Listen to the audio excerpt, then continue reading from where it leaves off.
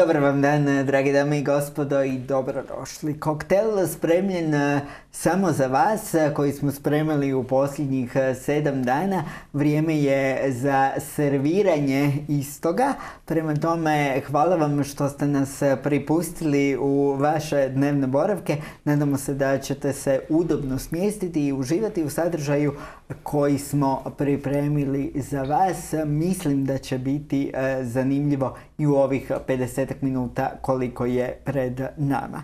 Krenut ćemo onako kako bi jedna meni jako draga pjesma rekla otmijeno damski, ne zbog mene naravno, nego zbog mojih prvih gošći koje stižu iz volonterskog centra Osijek najaviti veliku akciju Hrvatska volontira i još poneku podakciju unutar te krovne i velike. Sa mnom je izvršna direktorica volonterskog centra Osijek ili kako ja to volim reći prva dama ove institucije Leila Šehić-Relić. Leila, dobar dan, dobrodošli. Dobar dan i hvala na ovako lijepom uvodu i naravno dobar dan svim gledateljima. I pozdrav Nikoleti Poljak koja je prvi put s nama čini mi se, voditeljici programa razvoja civilnog društva. Nikoleta, dobrodošli. E, hvala vam i dobar dan vama i vašim e, gledateljima. Dame, kako smo? Ma zapravo, dobro. Mislim, moglo bi se naći puno epiteta, za to bi trebalo puno vremena, ali, ali ajmo, ajmo početi sa dobro. epiteta moglo naći, ali kada se približava akcija Hrvatska volontira, onda je to nekako ono vaše područje gdje vi zapravo e, najbolje funkcionirate. Što nam donosi ovogodišnja akcija Hrvatska volontira, ako se ne varam, sedmom po redu. Pa da, puno je događanja. Istina, Hrvatska volontira sedma po redu, znači sedam godina za redom, evo, Hrvatska mreža volonterskih centara u savezu sa brojnim organizatorima volontiranja, dakle organizacijama civilnog društva, neprofitnim ustanovama, pa ponekim i e, javnim, e, zapravo i vladinim institucijama i lokalnim samoupravama e, diljem doista Hrvatske cijeli Hrvatski provodi ovu akciju uključivanja volontera u najrazličitije akcije koje možete, možete zamisliti. E, mi smo ponosni na to što se to u kontinuitetu odvija i što ona svake godine raste. E, Prošla je okupila je negdje oko 5000 volontera na razini Hrvatske. Mislim, to, je, i to će sigurno ove godine biti još više. Ali ono što je ove godine dodatno specifično, što je zapravo akcija udružila, ova Hrvatska volontira se udružila svoje snage sa još nekim inicijativama koje su još dodatno htjele skrenuti pozornost na važnost civilnog društva, odnosno organizacija civilnog društva. Pa smo tako zapravo udružili snage sa Vladinim uredom za udruge koji isto tradicionalno nekoliko godina za redom organizira dane udruga i dane otvorenih vrata udruga. A osim toga, Prošle godine je pokrenuta jedna inicijativa od naših kolega iz Rijeke mhm. koja se zove Gledaj u druge ili Gledaj udruge kojom se također htjelo skrenuti pozornost e, na važnost e, postojanja, značaj organizacije civilnog društva. Mislim, o detaljima možemo naravno nešto, nešto mhm. više reći kasnije. I mi smo, evo, pokušavajući sve to nekako ukomponirati, došli do tog tjedna u kojem će se, evo, odvijeti različite različite aktivnosti, nešto možemo. Koji je tjedan u pitanju, Lela? Govorimo o tjednu od 22. do čini mi se 26. Tako e, je, dakle to je, e, imate dovoljno vremena razmisliti, nekako e, pogledati unutar sebe i pronaći kutak volonterizma i onda reagirati e, na ovo. Nikoleta, rekli smo, dakle, gledaj udruge, odnosno udruge, e, je manifestacija e, koja je u okviru ovog velikog tjedna, nazvaću ga tako, ali koji je zapravo cilj cijele priče?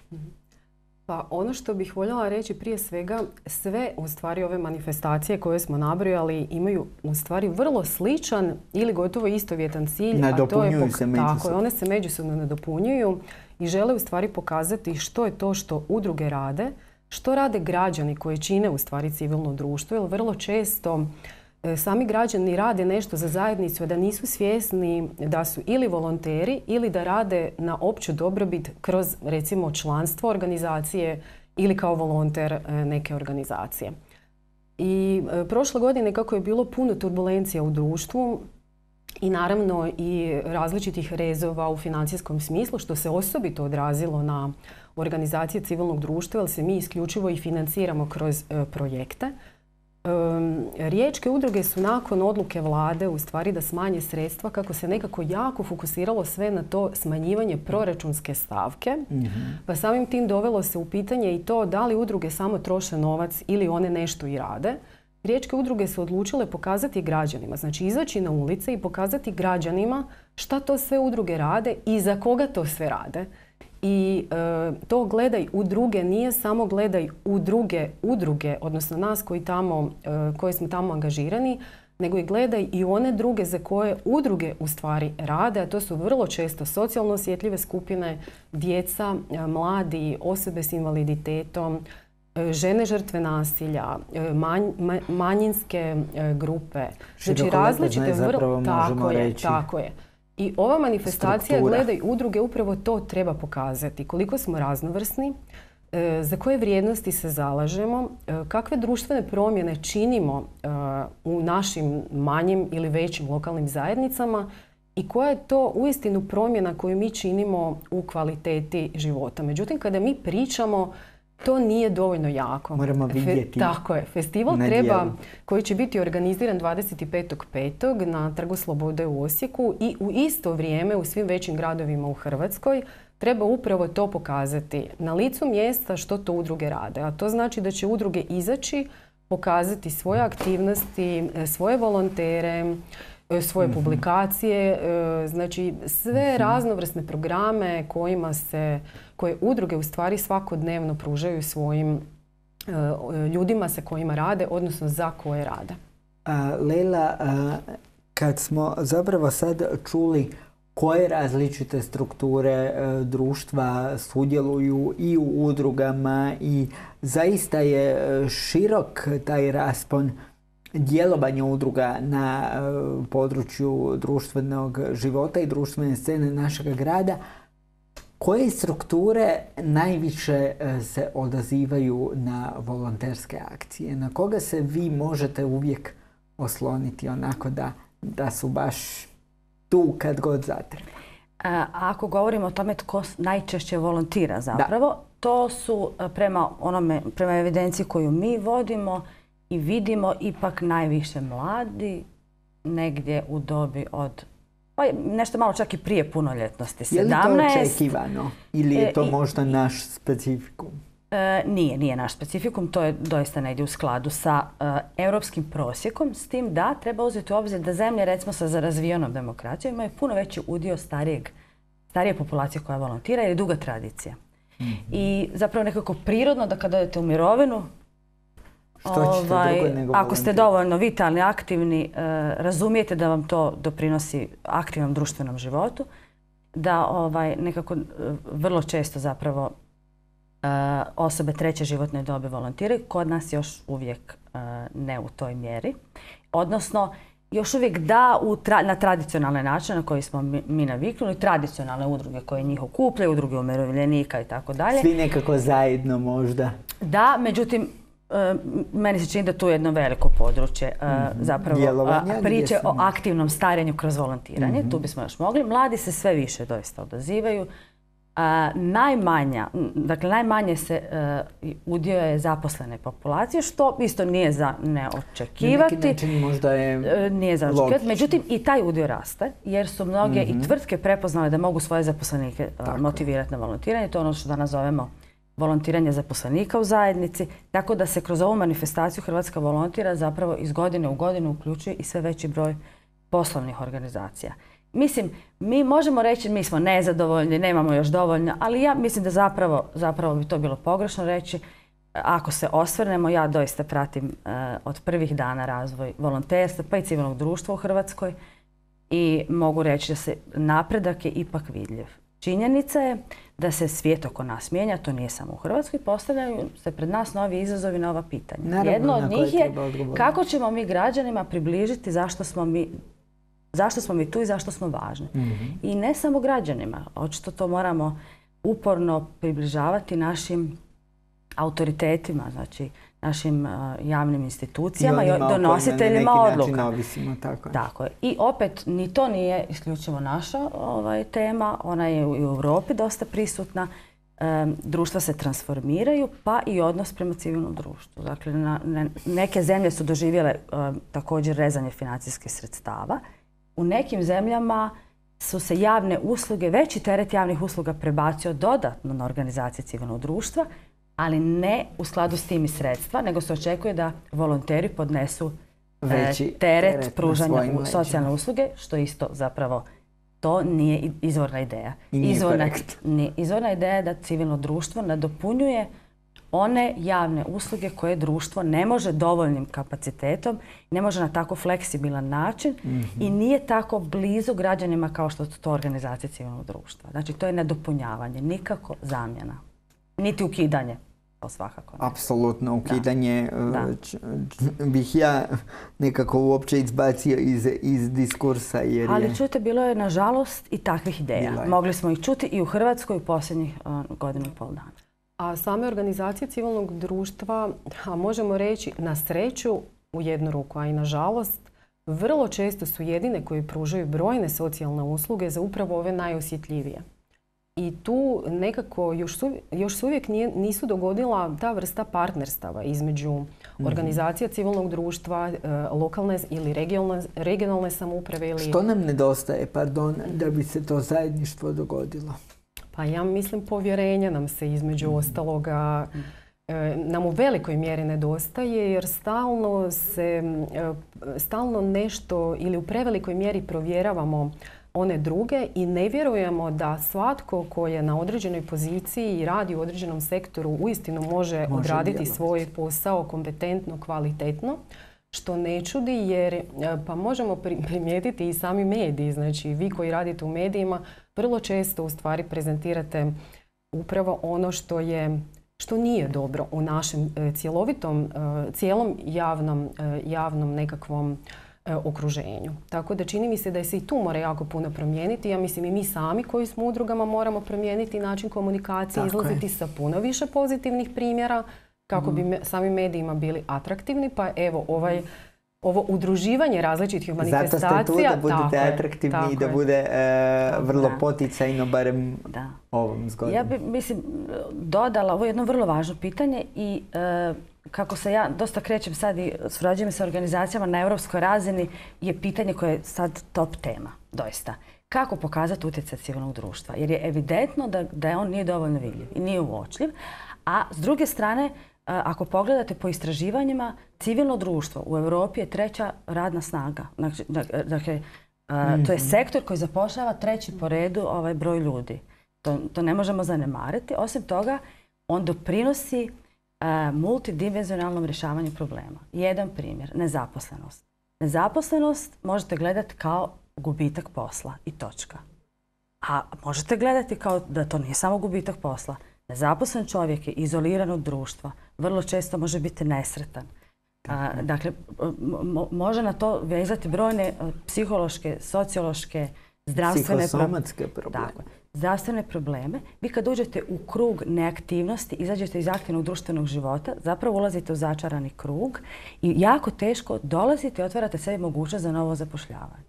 Upravo suradnja e, civilnog društva, javnih institucija, sveučilišne zajednice koja je ovdje jako bitna, doprinosi tome da jedan problem, poput ovog koji sam navela, takvih je još jako puno, pogledamo sa više aspekata i sa više aspekata djelujemo. Znači, Tako je. problem ne možemo riješiti samo svojevrsnu vatru, odnosno požar koji nastane gubitkom posla. Taj problem čak ne možemo znati riješiti, najčešće je to iluzija. Recimo, povećanjem ekonomske e, aktivnosti i otvaranjem većeg broja radnih mjesta. Točno.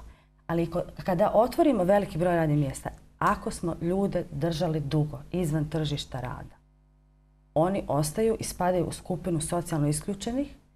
Njih je teško i kad imate radno mjesto otvoreno više vratiti. Znači vi dalje imate određenu skupinu u društvu koja će trebati poseban pristup. Za poseban pristup moramo sagledavati problem iz drugih osim sa ekonomskih aspekata. Evo, to je ovako sam htjela pokazati jedan primjer zašto je jako važno u kreiranju javnih politika i rješavanju određenih društvenih problema uključiti i organizacije civilnog društva. Puno njih, nadamo se, Nikoleta bit će 25. svibnja na Osječkom trgu Slobode. Kako se javiti i prijaviti svi oni koji žele? Pa ja se uistinu nadam da će se organizacije odazvati. E, mi smo juče u stvari objavili taj poziv. E, svi mogu e, koji žele, znači sve organizacije koje žele mogu se prijaviti na mail shalter.vcos.hr ili na naš telefon 031 211 306 gdje mogu dobiti informacije kako se prijaviti. Naravno, sve informacije uvijek su i na našoj web stranici www.vcos.hr ili www.programshalter.hr ali ja sam uvjerena da oni koji žele pronaći će način kako se prijaviti. Također sve oni koji se žele uključiti u Hrvatska volontira sa svojim volonterskim akcijama, prijaviti ih također preko naše web stranice. Vrlo jednostavno će doći do sve može. Doći do I e, htjela bi još samo reći da je e, cijeli festival, s obzirom da se u stvari radi o kampanji koja, je, koja se provodi na području cijele Hrvatske, znači za ovo što se događa u Osijeku, grad Osijek je također dao svoje na neki, svoju podršku kroz pokroviteljstvo. Eto, drago nam je da je to prepoznato, a pratit ćemo naravno sve što se zbiva u tjednu volonterizma Hrvatska volontira i gledaj udruge. Moje dame, bilo je veliko zadovoljstvo biti u vašem društvu i čuti sve ove bitne informacije vezane uz ovaj segment društva, civilnog društva. Hvala, hvala na A mi idemo sada u nešto e, više umjetnički svijet. Naime, s nama će biti, odnosno naša gošća, bit će Ines Matijević-Cakić, koju smo prije točno tjedan dana gledali kao autoricu jedne od triju izložbi otvorenih e, u e, galeriji Waldinger u povodu Festivala znanosti, a ovoga se tjedna osvrćemo na vrijednu nagradu e, iz područja suvremenih umjetnosti koju dodjeljuje Muzej suvremene umjetnosti na poznatome natječaju. Ines Matijević-Cakić osvojila je treću nagradu.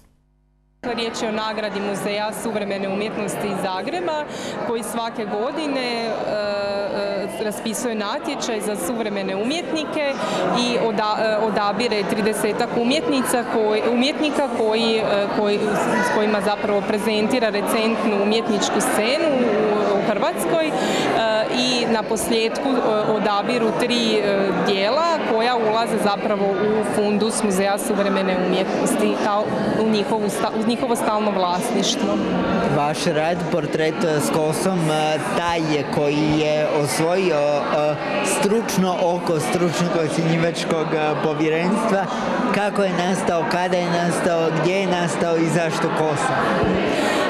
Znači, taj rad zapravo je portret moje kćeri koji sam ja zabilježila njezin portret prije šišanja, prije njezinog prvog šišanja a nakon tog šišanja sa njezinom e, ošišanom kosom sam izvezla crtež koji sam nacrtala prije šišanja. Zapravo meni je cilj bio e, e, istražiti i problematizirati dugačku kosu koje se kulturološki nekako veže uz pojam ženstvenosti. Dakle, i kroz taj rad ja, taj, taj rad ne sadrži samo crtež, dakle taj rad od, osim tog crteža koji sam izrazila kroz kosu sadrži i e, jedan e, dnevnički zapis kroz koji ja zapravo istražujem te e, probleme s kojima se susrećem i zapravo taj nekakav kulturološki fenomen koji iako želim, želim odmaknuti od tog nekog poimanja ženstvenosti i ženskosti u, našem, u našoj kulturi. Međutim, taj problem i to, to poimanje i taj doživljaj ženstvenosti se vraća i meni, tako kako meni, tako i moje kćeri. Dakle, s jedne strane odmičemo to od sebe i od nekakvog našeg identiteta, a s druge strane on nam se kao bumerang, bumerang vraća. Dakle, kroz taj rad mi je bio cilj nekako preispitati priznavanje drugoga, prepoznavanje e, e, tog nekakvog majčinstva i funkcije majčinstva, majčinske odgovornosti, podržavanja drugoga e, i, to je zapravo bio osnovni cilj prikazati to nekako zajedništvo. natrag u studiju Osječke televizije u ovom turbulentnom danu kada sa funkcija i iz fotelja odlaze, silaze ili daju ostavke, a mi smo pronašli jednog čovjeka koji je danas ustoličan. Ne znam je li po onom dok jednom ne smrkne, drugom svanuti neće, ali znam da hrvatski film čeka novu zoru. Ravnatelj Hrvatskog audiovizualnog centra od danas službeno i evo prvi, prvi put, prva izjava kao službeni ravnatelj Havca bez tereta dvaju suglasnika V.D. Gospodin Daniel Rafaelić, prijatelj Osječke televizije, bio, jest i ostaće i u budućnosti. Lijepi pozdrav. Dobar dan, Dobar dan Daniel, dobrodošao. Hvala, jako je lijepo biti ponovo u emisiji. Nadam se uskoro i uživo. Sad ćemo odraditi ovaj telefonski dio. A telefonski dio da budemo brzi, ekspeditivni i aktualni u svakom slučaju. Čestitamo na današnjem izboru koji je bio jednoglasan. Pa bio jednoglasan što mi je jako, jako drago.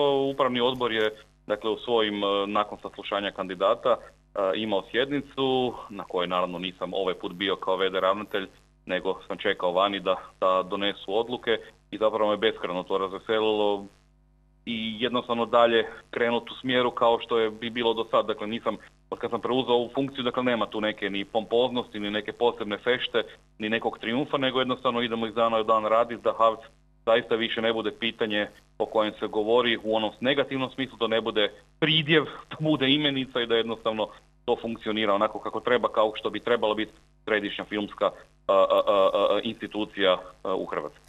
Razdoblje vršitelja dužnosti iskoristio si za, kako se to i službeno voli reći, smirivanje situacije i stabilizaciju stanja. Što bi izdvojio kao možda najvažnije? I za tiskanje minimalnog broja vizitki. Da, ovaj, mislim, da je, mislim da je to smirivanje zapravo bilo ključna stvar jer kad sam preuzeo tu dužnost stvarno je situacija bila nevjerovatno tenzična, napeta, ljudi su bili po testama, ljudi su pikali, vrištali jedni na druge. Filmska Pucao im je film? E, pa da, filmska zajednica je bila razjedinjena do te mjere da im je zaista pukao film i s jedne strane se kroz to sve skupa zapravo i pokazuje veliki strah od toga da bi politika na neki, neki način ordinirala kroz kinematografiju. Tako da sve to skupa uzet u vrijeme dok Haft Češlja i DORH i MUP i USKOK nije nimalo bilo jednostavno, ali opet nekako s druge strane najponosniji sam na to da sam uspio zajedno sa, sa svim suradnicima deblokirati Haft, da je Haft krenuo dalje, da su jednostavno kinematografija da je na neki način ponovo dobila potrebni krvotok i da to sve skupa sad funkcionira. Doduše još uvijek sporije nego što bi trebalo, ali ipak funkcionira, tako da nekakvih mjesta za napredak uvijek ima i bit će ih, a onda nekako idemo, idemo dalje, bez obzira na količinu viziti. Tako da je. E sad, koji su prvi koraci u tom napretku, koji je cilj? Pa ne, nema zapravo ništa, ništa specijalno u onom nekom radikalno drugčijem smislu nego do sad. Dakle, rješavanje tekućih problema, imamo Kanski festival koji je vrlo važan, film Trešnje Dubravke Turić je ušao u Kanu jedan od popratnih programa, što je velika stvar. Imamo Pulu kao nacionalni festival, imamo nacionalni program kojeg je ministrica potpisala prošli tjedan, dakle implementacija toga, donošenje svih ovih odluka, odnosno objavljivanje odluka umjetničkih vijeća, suradnja sa upravnim odborom i audiovizualnim vijećem, dakle sve ove zapravo beskreno dosadno birokratske stvari koje vjerujem da vaše gledatelje zapravo uopće ne zanimaju, ali su potrebne da bi se ta, da bi ta čitava stvar koju zovemo kinematografija mogla normalno i zdravo, zdravo postojati. To je onaj dio kad se čovjek mora baviti tim možda javno percipirano dosadnim stvarima da bi one najzanimljivije koje zovemo krema kinematografije mogle zaista, mogle zaista sjati. Jasno, ali e, bit ćemo naravno svi sretni i ponosni kada rezultati, odnosno e, filmovi na festivalima budu e, ono što trebaju biti, a to je prepoznati, a već je Upravo to... tako kad donesu, kad donesu u Hrvatsku ono čemu se svi nadamo, dakle to su te raznorazne, raznorazne zlatne životinjice i biljčice koje koje festivali dijele, mi ih jako, jako želimo. Hoće li se Hrvatski audiovizualni centar i dalje odazivati koprodukcijskim uh, Apsolutno da, zato idejama. koprodukcije su, pa da, koprodukcije su zapravo jedan jako, jako važan dio naše kinematografije, to možda ljudi ne znaju, ne znaju ovaj, čak ni ovaj, detaljno, a to je da kroz koprodukcije ogromna količina novca uđe u proračun Republike Hrvatske. Dakle, to je nešto od čega mi imamo izravne financijske koristi, a gdje je ova umjetnička, gdje je ova strukovna, tako da to, to je jedna od stvarno jako, jako bitnih, pa mogu slobodno reći, reći kičmi naše kinematografije. Na tome treba i dalje raditi vrlo, vrlo aktivno. Na tome smo i do sad bili dobri, podsjetit ću i na Star Wars, Robin Hooda i neke druge filmove koji su snimani kod nas. A tradicija je sjajna, dakle ako jedan Murnau snimo kod nas, ako jedan Orson Welles ili Peter Justinov, a onda naravno možemo samo ići možemo samo ići dalje u istom odnosno sličnom, sličnom principu. A kako odrediti koji dio Zlatnog medvjeda pripada nama, a koji recimo koprodukcijskoj zemlji? To prepuštam svakom od nas da odabere njegov, njegov omiljeni dio, koji god mu se svidi. Sjajno. Medino uho može biti vrlo zanimljivo ili možda e, njuškica. Daniel, hvala najljepše na ovom gostovanju. Hvala na vremenu e, u prvom danu ovog inaugurativnom danu, da tako kažemo, na mjestu ravnatelja Hrvatskog audiovizualnog centra za odvojeno vrijeme za program Osječke televizije. Mi ćemo koktelom nazdraviti tebi, tvoje ekipi i poželjeti što je više moguće energije će biti, u to uopće ne sumnjam, ali što je više moguće zajedničkih susreta uživo u našem programu kako Hvala, bismo... tome se, tome se izuzetno veselim, tim više što E, prema onome što se valja na horizontu Osijek će uskoro dobiti filmski festival što je beskreno lijepo i važno. Osijek će uskoro sigurno imati i ovaj e, filmski centar, odnosno bit će jedan od onih e, mjesta gdje će se dolaziti, pitati za lokacije i snimati, tako da to je sve nešto na čemu se radi trenutno i moram priznati da me to beskreno, beskreno veseli. Želim vidjeti jedan od stranih filmova koji se dešava u Tvrđi ili Sakuntala parku. To je moj uvjet. E, ovo ćemo izrezati, dečki iz režije, molim vas izrežite, puštat ćemo ovo kao džingl. I redovito, ako da, se ne dogodi. da, da smo na radiju, sad bi pustili pjesmu Što sad ljubav ima s tim. Naravno, ljubav prema filmu, ne govorim o, nikakvoj drugoj vrsti ljubavi. Našu međusobnu ljubav nećemo otkrivati sve koliko pućanstvu. Nećemo. To je stvar intimne, intimne njege. Hvala lijepa. Hvala lijepa za ovo gostovanje i lijepi pozdrav Zagrebu. Bio je s nama ravnatelj Havca, gospodin Daniel Rafaelić. Hvala još jednom. A mi ćemo dalje i to, ja mogu reći, klap i možemo krenuti na drugu temu koja nije filmska, ali su moji gosti bili vrlo sretni. Vidio sam jedno E, pozitivno čuđenje na ove zadnje riječi Daniela Rafaelnića što nas čeka na filmskoj sceni našeg grada. Idemo mi do odjela za kulturologiju Osječkog sveučilišta Josipa Jurija Štrosmajera, a sa mnom će biti, odnosno već jesu, E, profesor Tihomir Živić, predsjednik organizacijskog odbora konferencije o digitalnoj baštini. Lijepi pozdrav, Hvala lijepa, pozdrav vama i vašim gledateljima. To je konferencija koja će se tek dogoditi, pa ćemo ju najaviti, a imamo jednu koja se upravo događa u našem gradu, a nama medijima jako je bitna. Naime, mediji i medijska kultura je e, naziv konferencije o kojoj sve zna docent Željko Pavić. Lijepi pozdrav, dobrodošli. Hvala lijepa, hvala lijepa na pozivu.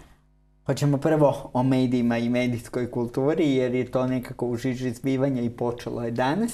Pa me zanima, evo, koja je ideja konferencije i kako je prošao prvi dan? E, pa ta konferencija ima dosta širok ovako tematski obuhvat. Tema su općenito mediji. Mediji su uvijek zanimljiva tema i praktično i teorijski, e, tako da s tom temom nikad ne možete promašiti zapravo. E, dakle, dosta širok tematski obuhvat, dosta sudionika, gotovo stotinu sudionika, neki, neki 65 izlaganja i sedam zemalja, tako da izuzetno smo zadovoljni zapravo tim odzivom. Što se tiče tema, neke su se teme nekako kristalizirale zato što su zanimljive momentalno i u ovom medijskom svijetu, a i u nekakvom uh, teorijskom, teorijskom i znanstvenom smislu. Što ste izabrali e, kao najzanimljivije? E, pa recimo, vrlo je aktualno pitanje ovih lažnih vijesti, pitanje vjerodostojnosti zapravo vijesti koje se pojavljuju na internetu, odnosno u novim medijima. Imali smo baš u ovoj popodnevnoj sesiji neki 6-7 izlaganja upravo e, o tome. Vidjeli smo sa ovim uh, predsjedničkim izborima u SAD-u, sa Donaldom Trumpom, da jednostavno nekakve vijesti koje nisu vjerodostojne, koje su ponekad čak i izmišljene, ili ponekad jednostavno nisu točne. Ponekad i sami akteri vijesti nije da branim one koji rade na taj način, ali ponekad i sami akteri vijesti zapravo daju sve od sebe da to zvuči i izgleda kao fake news. Tako je, jednim, jednim dijelom je i to slučaj.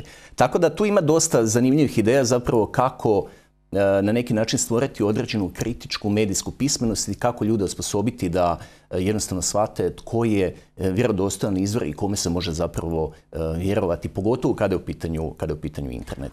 Što kažu međunarodna iskustva, odnosno oni koji su došli izvan Hrvatske? Pa ima, ima dosta nekakvih ideja, zapravo i već postoje neki pilot projekti e, koji funkcioniraju na nekim e, inozemnim sveučilištima, koji pokušavaju jednostavno uvesti nekakve e, rang ljestvice i koji, koje će se onda čak pojavljivati odmah u pretraživanju, tako da kad vi nešto pretražite na internetu da odmah možete nekako da vam se da nekakva sugestija može li se tome na neki način vjerovati ili, ili ne. To su sad neki pilot projekti, ali će možda u budućnosti zaživjeti. Oni imaju svoje probleme, naravno zašto zahtijevaju jedan dosta intenzivan ljudski rad. To se ne može napraviti automatski nekakvim algoritmom, nego jednostavno mora biti neka subjektivna, subjektivna prosudba. Tako da postoje nekakve ideje i nekakvi pilot projekti, ali ta tema je relativno nova. Zapravo problem se pojavio tek nedavno i još uvijek baš ne postoje nekakva rješenja koja su potpunosti, potpunosti funkcionalna. Kad smo u društvu profesora Tihomira Živića, onda se funkcionalnim čini i ono što na prvi pogled možda ne bi bilo. Sprega starog i novog, mogu to tako reći, vaš je intelektualno profesionalni fet. Pa jest, jer zapravo ono što želimo napraviti i na odjelu za kulturologiju, to nam je jedno od naših usmjerenja, jeste zapravo da spojimo nešto što se na čini nespojivim, a to je baštinska kultura s posebnim osvrtom na Saru knjigu, s nečim što je danas e, trend, pogotovo u humanističkim znanostima, a to je digitalna humanistika. Naša konferencija je dakle upravo posvećena tome da to dvoje, dakle baštinsku kulturu i digitalnu humanistiku spoji u jedan spoj, odnosno spregu. A, na koji način? E, zapravo je ta konferencija koja se održava 19. i 20. svibnja ove godine u auli našeg rektorata, zapravo je treći dio projekta kojeg smo već radili prije. To je projekt e, digitalizacije baštinskih knjižničkih fondova koje smo nazvali da je naša nužnost i obveza. Zapravo u prvoj fazi smo obučili naše nastavnike i studente kako se digitaliziraju stare knjige. U drugoj fazi smo dakle digitalizirali samo izabrane stare knjige, u ovom slučaju e, knjige Emerika Pavića kojem je u doba kad smo dobili ovaj međunarodni projekt, dakle prošle godine bila 300. obljetnica rođenja i na kraju dakle e, samom konferencijom koju evo ovdje hvala još jednom na pozivu najavljujemo.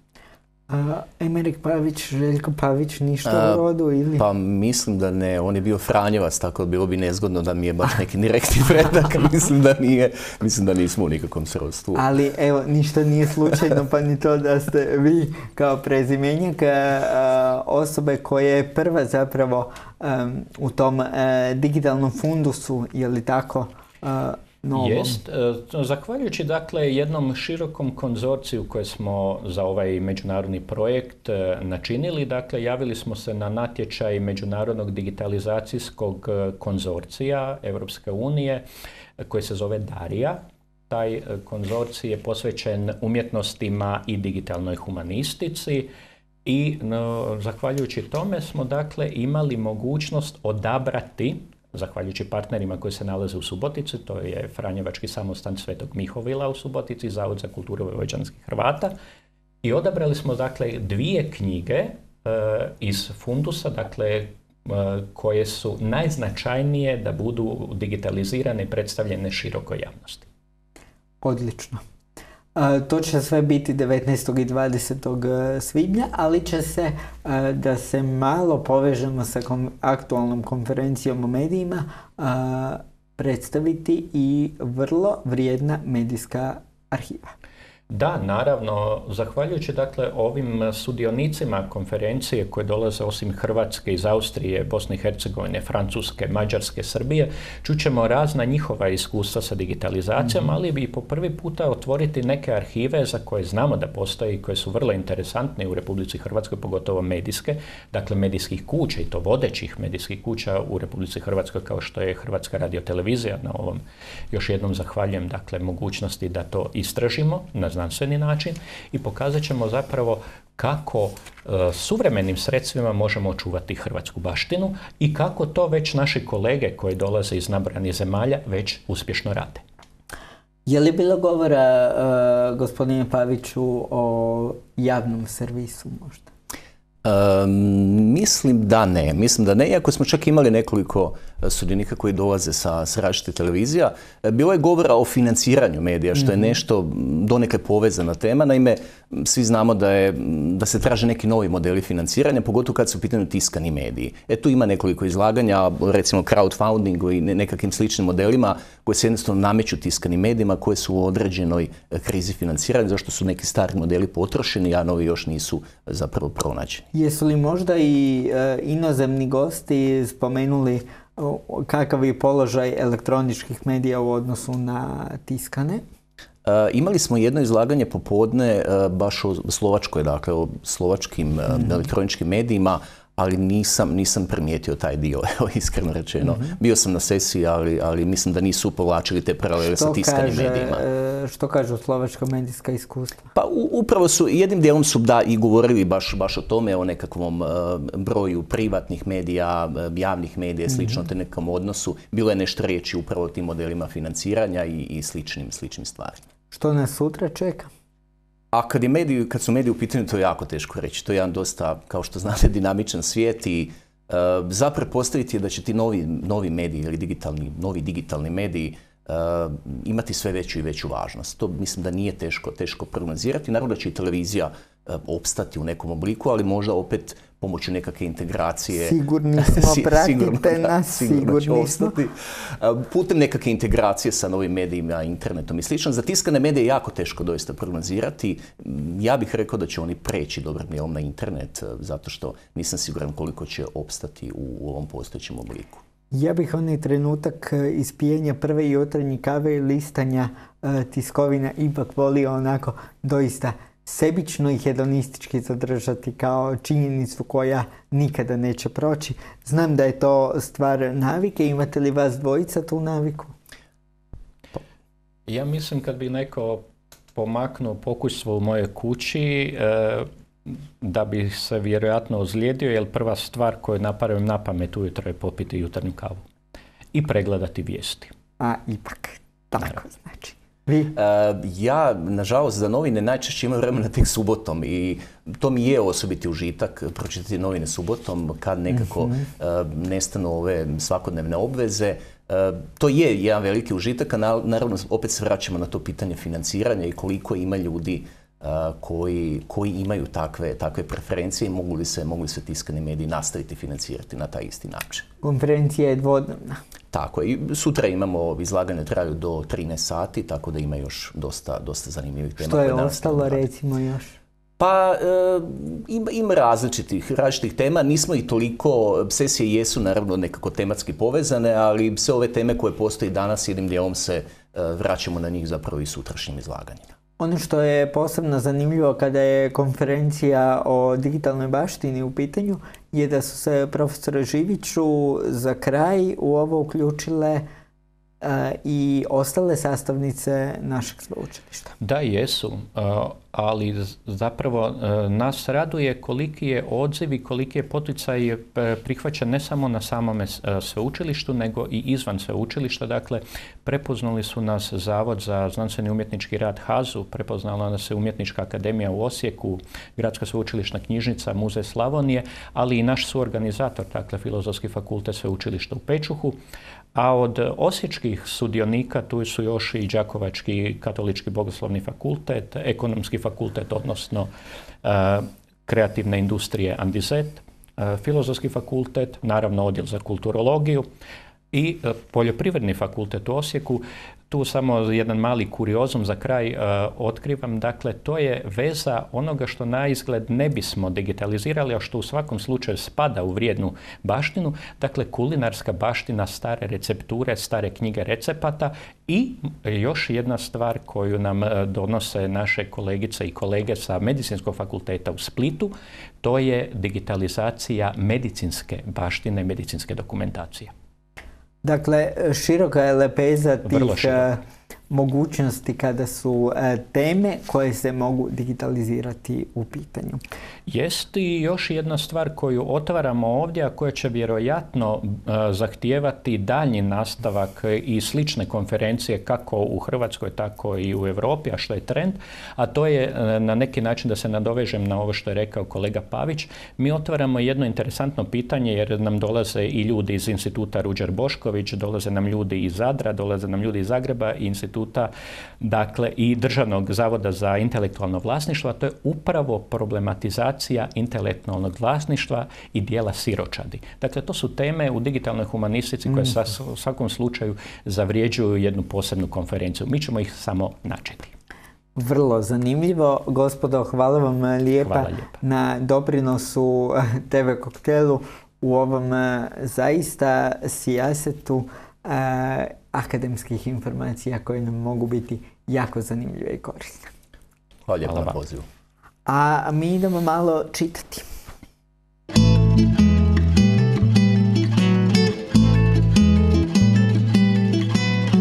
Kad je već e, moj gost spomenuo kulinarski dio priče i asortimana, knjiga uvijek može biti dobar desert recimo, a još ako se zove Čokoladne godine i ako je autor Marko Kopjar, onda ćete zaista uživati. Pogledajte što smo zabilježili kolega Srđan Marov i moja malenkost u razgovoru s upravo spomenutim autorom za djecu. Gospodin Kopjar, dobrodošlica u Osijek. Hvala. Pred nama danas u Gradskoj sveučilišnoj knjižnici vaš uradak čokoladne godine. Jedna zapravo vrlo slatka, slasna i vjerujem djeci omiljena priča. Čokoladne godine su, da, roman, jedan čokoladni roman o odrastanju dječaka Darka, njegovih prvih deset godina, u kojem opisujem njegovim riječima, dakle u prvom licu, Darkovo odrastanje i to doslovce od rađaonice pa do njegovog desetog rođendana. E, čokolada je tu vrlo bitna. Da, čokolada je bitna, ona je metafora e, djetinstva tih najljepših e, dana naših života, što shvatimo naravno tek kasnije kad se osvrnemo unatrag. Vi ste u svom opusu okrenuti dakle dječje književnosti, pismu za djecu, ali isto tako radite i u dramskom programu.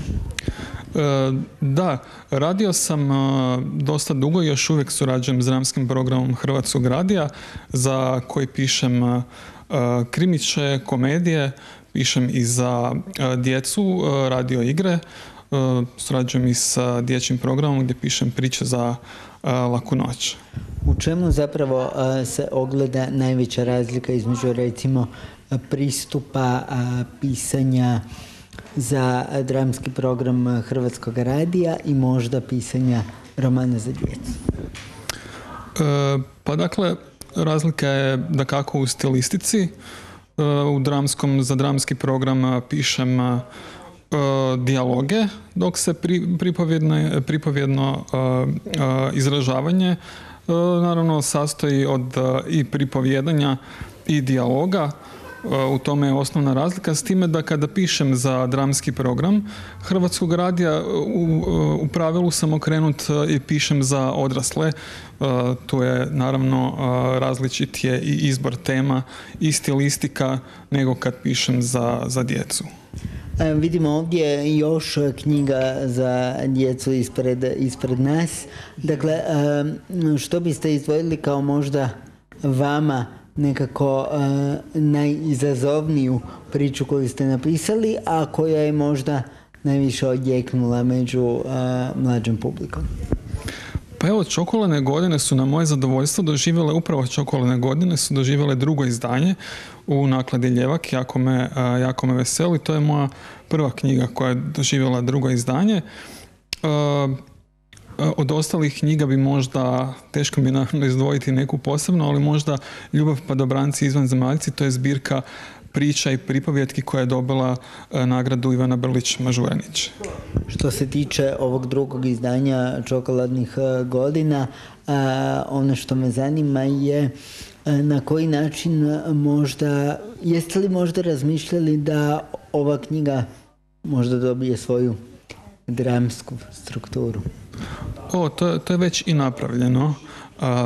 za dramski program Hrvatskog radija je snimljena radio igra baš pod imenom Čokoladne godine. Vi volite čokoladu? Apsolutno. Koja je najdraža? Možda čokolada s rižom. I u zadnje vrijeme one s visokim postotkom kakaa. Te su zdravi. Zdravi, da. Odlično, ja se isto tako tješim. da. E, evo još e, da vidimo, pišete li što god e, trenutno? Pa evo, sad sam upravo završio jedan roman za tinejdžere, zove se Legenda o crvenokosoj vještici. Nadam se da će u dogledno vrijeme knjiga biti objavljena. To je jedan ljubavno-kriminalistički roman sa elementima horora, premda parodiranog horora, što danas evo djeca, tinejdžeri vole čitati. Nadam se da će imati odjeka kod publike. Hvala vam lijepa i sretno dalje. Hvala vama. Idemo opet malo o glazbi i to onoj umjetničkoj glazbi, ali natjecateljskog karaktera. Naime, u našem gradu već pet godina se održava e, festival Lav Mirski i natjecanje Interbox. S nama je umjetnički ravnatelj svega ovoga što sam nabrojao, profesor Berislav Jerković. Lijepi pozdrav, dobro večer. Dobro večer, Saša. Pet godina se družimo na ovu temu. Da, brzo nam proleti svaka godina. da je proletjelo? Sve brže i brže, evo. Nevjerojatno, ali ono što me veseli je broj koji ćete izgovoriti vi, sudionika ovogodišnjeg lava. Je, ovogodišnje peto po redu izdanje Međunarodnog pjevačkog natjecanja Lav Mirski. E, donijelo nam je novih 107 natjecatelja, znači maksimalan rekordni broj do sada. E, kao i svake godine, natjecatelji će se natjecati u sedam kategorija prema dobi i prema umjetničkim glazbenim programima. Eh, od tih 107 natjecatelja, zanimljivo je reći da je onih najmlađih iz glazbenih škola negdje 32. Eh, Studenata akademija prvih i drugih godina oko 24-25. mm eh, Natjecatelja u opernoj petoj kategoriji je 18 natjecatelja muzikala do sad rekordan broj 17 ovoga, nismo ih još do, do sad toliko imali i mogu reći da dolaze iz, pored Hrvatske naravno, dolaze iz Srbije, Bosne, Hercegovine, Slovenije, Crne Gore, Mađarske, Austrije i Češke čak. Čak i Češke. A znači, e, Mađarska, ako se ne varam, jedna od prošlogodišnjih pobjednica je iz Je, na trećem. Na, na trećem. natjecanju lauretkinja je bila iz Pečuha Ines Adrian Dorg. Toga se, toga se sjećam. A, hoće li e, uz ovaj glazbeni dio biti i onog edukativnog? Tako je. E, zahvaljujući potpori e, američke ambasade, ove godine nam je ponovno u goste došla američka vokalna pedagoginja, inače vokalna solistica sopranistica Katie Kessler Price i Jonathan Price tenor. Eh, ovih dana mi smo već krenuli sa radionicama na Umjetničkoj akademiji. Ona to održava za mhm. studente pjevanja i glazbene pedagogije, a u sklopu natjecanja u svojstvu je članica žirija, a možemo najaviti u ponedjeljak 8. svibnja imat će eh, ovih dvoje američkih umjetnika imat će eh, solistički koncert u Muzeju likovnih umjetnosti u 20 sati. Kada zapravo govorimo o samom natjecanju, finale natjecanje i proglašenje pobjednika je u nedjelju u HNK-u. Tako je. E, U opernoj kategoriji postoje dvije etape. Prva je u subotu, a druga je u nedjelju u 10 sati u Hrvatskom narodnom kazalištu i po završetku toga u 13 sati je svečanost dodjele nagrada i svečani koncert pobjednika svih kategorija. Tko sve to sluša i odlučuje tko je najbolji? Pa, sastav žirija koji će, kao što ste vidjeli, prema broju i mm to, Imati veliki problem. I to je vrlo ovako heterogenoj strukturi kategorija i glazbenih Ali neće programa. Odustati. Ne, ne odustaju. To su sve birani čvrsti karakteri i vrhunski stručnjaci u svome području. E, znači, pored mene tu su još e, profesorica Keti Kessler-Price, Martina Gočita Silić sa Muzičke akademije Zagreb, e, naša proslavljena primadona mesosopranistica Neli Manuilenko iz Splita. E, tu su još i Vlaho Ljutić, Filip Pavišić. Evo. E, dakle, imamo i osječke snage Tako je. s malo dubrovačkog šarma. Tako je, malo Mediterana. kad je gospar Vlaho u pitanju sve do idućeg četvrtka, dakle, e, spomenimo i to, održavat će se koncerti. Tako je, od ponedjeljka nam kreću svake večeri koncerti. Za ponedjeljak, evo kako smo i rekli, to je koncert, e, mahom će to biti program muzikla pod naslovom From Broadway to Osijek u izvedbi Katie Kessler Price i Jonathana Price. E, na klaviru će ih pratiti naš pijanist Ivan Karša. U utorak nam stiže E, sopranistica, inače doktorica znanosti Milica Stojadinović iz e, s Akademije umjetnosti Novi Sad. Ona će izvesti recital solo pjesme, španjolske solo pjesme i mhm. koncert nosi naziv Španjolska u mom srcu. U srijedu nam dolaze studenti e, Fakulteta za glazbu i vizualnu umjetnost iz Pečuha. I što je zanimljivo s obzirom na mađarsku i mađarski jezik, njima su zapravo najčešće slavenski programi vrlo težak e, orah koji u, ovaj, savladavaju tokom svoga studija, a upravo će te večeri izvesti pjesme, arije i operne ansamble iz slavenskih autora. Sjajno. A, ta sva tri koncerta su u 20 sati u Muzeju likovnih umjetnosti u Osijeku i u četvrtak za zatvaranje dolazi nam uh, jedan puhački trio, znači flauta, klarinet i klavir iz Štipa, iz Republike Makedonije. E, koncert će biti u 19 sati u Arheološkom muzeju, zapravo muzeju Slavonije, u glavnoj straži. I taj ansambl inače nastupa pod nazivom Trio Akademiko, dolaze sa Univerziteta Goce Delčev iz Štipa. Za sve pretpostavljam ulaz slobodan. Tako je. Sjajno. Nemate ni jedan razlog ne posjetiti barem dio onoga o čemu smo pričali eh, profesor Jerković eh, i ja za kraj ovog eh, TV koktela. Hvala vam puno. Držimo palčeve da sve prođe barem kako je prolazilo prošle godine, a to znači da je bilo bez ikakvih problema i zamjerki, ali vjerujemo da će biti tako i ove godine. Hvala lijepo. Poštovani gledatelji, toliko za ovaj tjedan e, od ekipe e, TV Koktela. Družimo se za tjedan dana ponovno u isto vrijeme na istom mjestu. Do tada stojite dobro.